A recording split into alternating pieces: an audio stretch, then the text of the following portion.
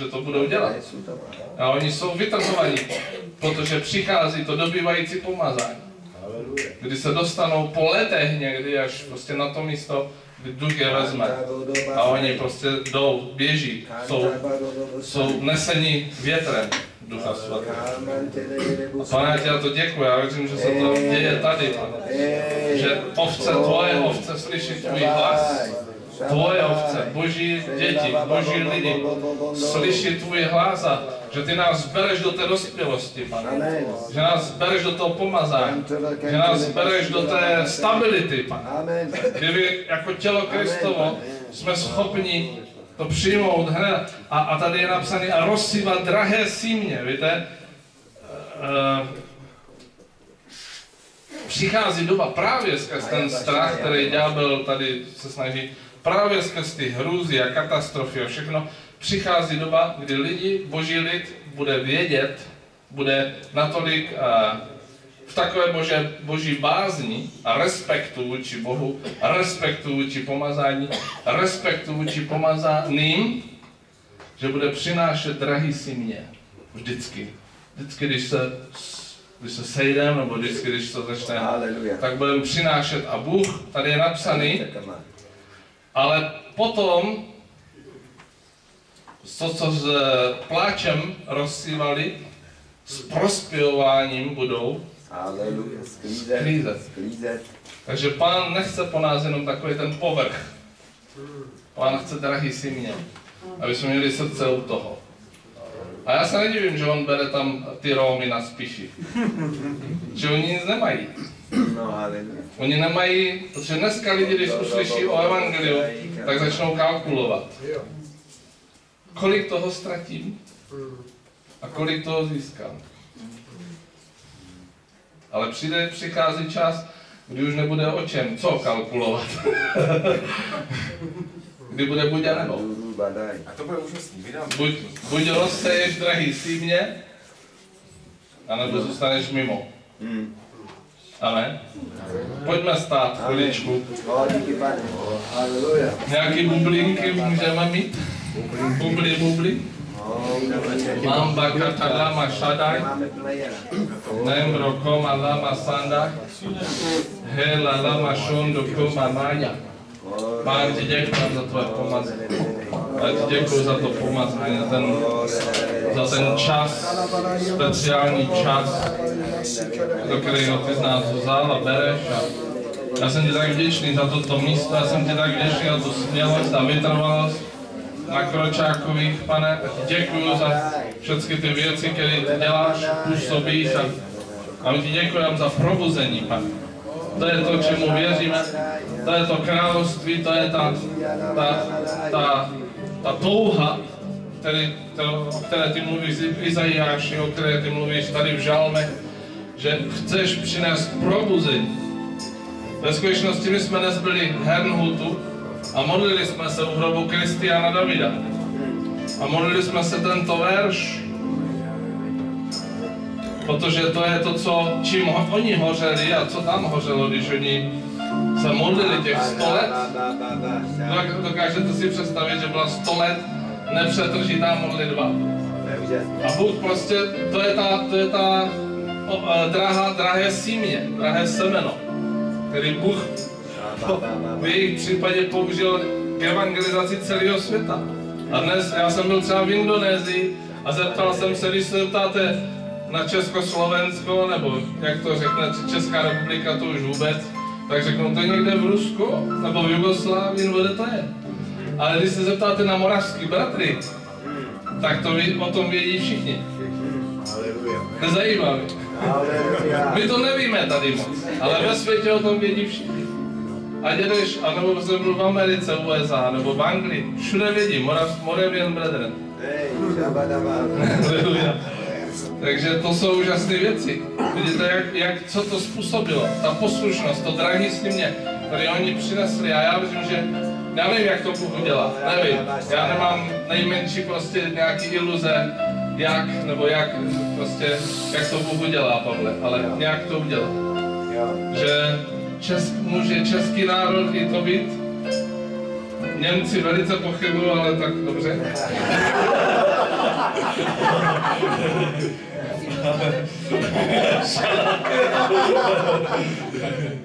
Ale může být tím světlem znovu, víš, pro Evropu.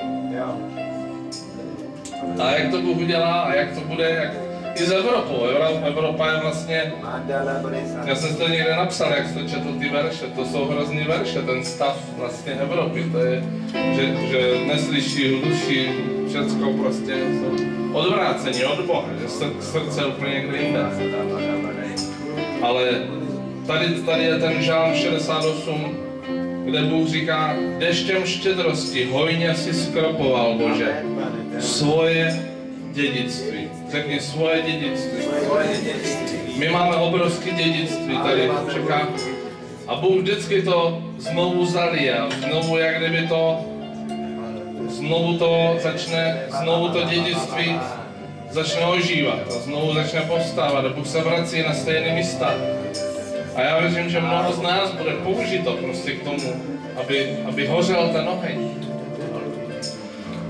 A je čas ta, takovýhle konference, takovýhle chvíle, my musíme k tomu využívat a rozdmíchávat to v sobě. Udržovat to v sobě, protože to se dá. My to můžeme udržovat, my to můžeme rozdmíchávat do té doby. A pán to tady říká, dědictví, eh, hojně skropoval si Bože dědictví své a když zemdlívalo, tak si ho zase občerstvoval. Amen. To je náš úkol. Náš úkol je stát ve víře. Jako David stál ve víře na 20 let, než přišel, než přišlo ve skutečnosti prvních 7 let, eh, 14 let nedělal nic jiného, než utíkal. Dokonce utíkal tak daleko, že už s ním nikdo ani nemohl bojovat. už ani filištinští tam nebyli. Ale pak, pak, pak přestal, protože amoničtí, ani, to byl nový nepřítel, amončtí mu sebrali všecko, takže on začal bojovat. A když začal bojovat, tak kdyby ho nikdo nemohl přemoct, a možná si to uvědomil, ale přišel čas prostě přestat utíkat. A já věřím, že ta smělost daná, to je, ta, to je to třetí pomazání, to je, ta, to, je to, to pomazání k dobývání, k zabírání. Se v nás jsou věci a ty věci, které v nás jsou, Pavle, nejsou naše věci, to jsou boží plán, boží, boží vize, boží touhy, to, co hoří v nás, prostě Bůh to tam dal. A někdy je to tak silný, že nás to malem zlikviduje. Prostě je to tak intenzivní a tak nemožný v tom našem světě, ať už vezmeš rodinu, finance, cokoliv, tak řekneš, to je, to prostě, já už nechci žít, pane, vezmi mě do nebe, já už to nechci vydržet, já už to nemůžu vydržet. Ale, ale při, já věřím, že přichází ta doba, kdy nevím jak, ale Bůh to udělá a uvolní to třetí pomazání, to dobývající královské pomazání, tak, aby jsme byli na těch místech, kde máme být. A, a nebude to silou ani mocí, nebude to prostě schopnostma, nebude to tím, jak umíme kázat a jak umíme něco, nebude. To bude boží, boží intervence, boží zásah. Bude to přes média, bude to přes politiky, bude to přes herce, bude to prostě tak, jak Bůh to bude chtít, aby to šlo. Ale já si myslím, že to hodně půjde mimo církve všechny. Bůh bude používat církve, ale ne až tak moc. Já myslím, že to bude obrovský, protože církev dneska je velice malý zlomek v Čechách. To je 0,01. A já si myslím, že, že když přijde, kdyby přišly jenom další 2%, tak my nejsme ani jako církve schopni to absorbovat, zvlášť těch zkostnatělých věcech. Takže ten zvlášť náboženský duch, protože když mluvíme o tom 0,01, tak ještě z toho 90% je náboženský duch, který to svírá, který, který naopak tomu brání těm novým věcem. Takže jak to, jak to Bůh udělá, já nevím, ale on to udělá. Proč? Protože jeho slovo, to, co on řekl, je pravda. To, co on řekl, se stane. To, co on řekl, se naplní. A on řekl prostě, že vyleje svého ducha na, na celé tělo, to znamená nejenom na mě a na Pavla a na Pavla a na dalších 300 kazatelů, ne. Ani na nějaké speciální církve. Na všechny. Amen. Na všechna, na celý tělo. A dneska jsou, já řeknu, já jsem včera, co je dnes, sobota, ve čtvrtek jsem měl schůzku a jenom prostě, protože přestavuju barák a tak jsem jako v tom už doproudil tak daleko, že, že to potřebuji pronajmout, aby mohl sloužit pánu a tak, tak jsem si zavolal z realitní kancelář, takovou paní bodrou, prostě dobře oblečenou, asi 45 A ona přišla a pro mě, já už to, to, to, to prostě šlo tak rychle, takový sledy, ale byli jsme spolu hodinu a půl ona se dvakrát rozbrečela pod božím duchem. A já jsem to nechtěl, já jsem to chtěl zase, já jsem to ani, ani nechtěl o, o ničem mluvit. A já jsem o ničem nemluvit. Ona jenom ze mě vytáhla, co dělám, že furt někde jezdím a tak, protože jsem mi od někak telefonoval a tak. Tak jsem mi to řekl a, a já jsem mi říkal, no já jsem ten blázně kazatel, kterýho vy stejně asi nebudete mít ráda. Říkal, proč bych mě měla mít ráda? A furt se k tomu má, tak mě řekněte něco, jak to je a to. A vždycky, když jsem o to začal mluvit, tak se rozbrečel. Já jsem říkal, tak pojďme zase, tak zase jsme ke stavbě a tak. Ale nakonec jsem mi dal Bibli, tu modrou Gedeonku, a zatrhl se mi, ani se mi nevedl, ani se mi nechtěl víc ke spasi. Jsem říkal, tento člověk musí být normální, aby mě to... ne, ale prostě jsem to neudělal, protože jsem neměl vedení v tom, abych jí vedl. Ale ona by přijala v tu chvíli, v tu ránu prostě, já to vím, protože chtěli přijít na schromáždění, to ještě... Ale zatrhl a četl jsem mi tam z Římanům 10, 9, 10, že když vyzná, tak jsem říkal, vy už to máte, už to všecko máte, vy už nepotřebujete, a ona začala brečet prostě. A jsem říkal, pane můj. A pak jsem jenom říkal, ale vy to musíte mu říct, protože tam se to děje. Když se to nebude dít ve vašem životě, to je když prostě my dva jsme teď tady a my se nikdy neuvidíme. To je k ničemu, to je o ničem. Vy potřebujete, aby on byl s váma. A bude s váma, když mu to řeknete. To je to, to, je to nový. Všecko starý pominule. No, dejte do škatule, to je už nic. A to byla solidní paní, fakt, vy, když se se mnou setkala, vypadala se. tak já, já jsem vynechal na, na, a to mám, prostě tak to bylo, jsem vynechal na chodníku před mým barákem.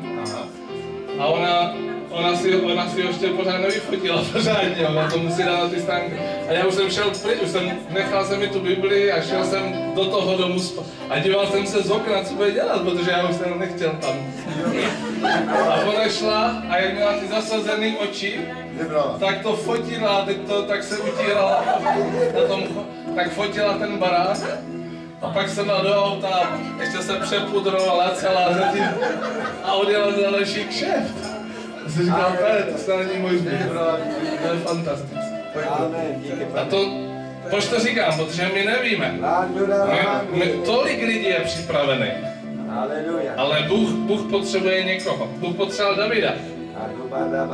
A Bůh potřeboval Davida takové, jako když, když, když, když zabili Jonatu a mysleli si, že prostě zdestrují Davidovi úžasnou zprávu a když zabili Saula, tak ty lidi přišli, ok, David prostě miloval Boha, miloval to, co Bůh dělá. On nesnášel ty lidské věci, jako ty všelijaký žabomyší, denominační a tamto a tamto. Prostě on to vůbec nic neříkal. On, on, on byl v jiné dimenzi, žil jinde. A Bůh chce takovýhle lidi mít.